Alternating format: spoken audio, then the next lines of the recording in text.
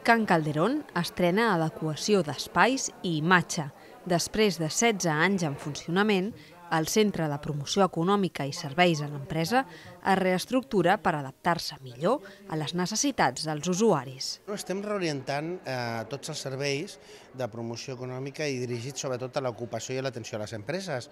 Hem posat en marxa ja un servei que pràcticament garanteix que una persona ve a Can Calderón amb la seva idea i surt amb l'empresa constituïda i també eh, tot el que fa referència a la formació i a l'ocupació de les persones. Estem treballant amb les empreses per tal de mirar com a, a accedir millor a l'oferta de llocs de treball per poder afavorir que aquelles persones que estan en demanda d'ocupació a Can Calderón puguin tenir accés a les noves oportunitats d'ocupació que hi ha a la ciutat. La jornada de portes obertes ha comptat amb un centenar d'assistents. El hecho de tener todo lo que he visto, la nueva rotulación muy grande, informa, puede, mm, te, te facilita mucho el trabajo. Antes ibas a una mesa, te informabas, tenías que ir a la otra, ahora ya Eh, seguirá pasando lo mismo, pero nada más que te fijes un poquito ya puedes andar sola. El, el informar de que sí que, que, está, que hay, esa sí que es una buena acción para que todo el mundo lo conozca. Si hicieran esto no solamente con, con 100 personas, sino con muchas más, ganaría mucho más.